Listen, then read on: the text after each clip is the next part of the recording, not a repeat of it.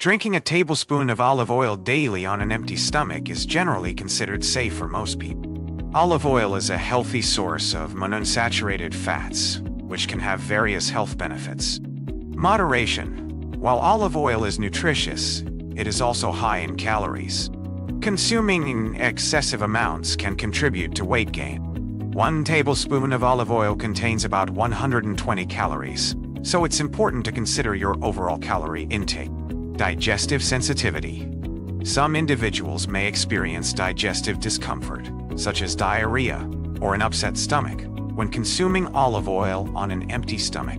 If you have a sensitive stomach or a history of digestive issues, it's best to consult with a healthcare professional before incorporating this practice into your routine. Individual variations. Every person is unique, and what works for one individual may not work the same way for another.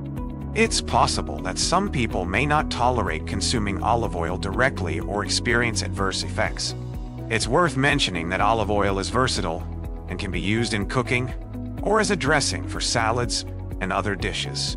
Incorporating it into your regular diet in a balanced and moderate manner can provide you with its health benefits without the potential drawbacks of consuming it in larger quantities on an empty stomach.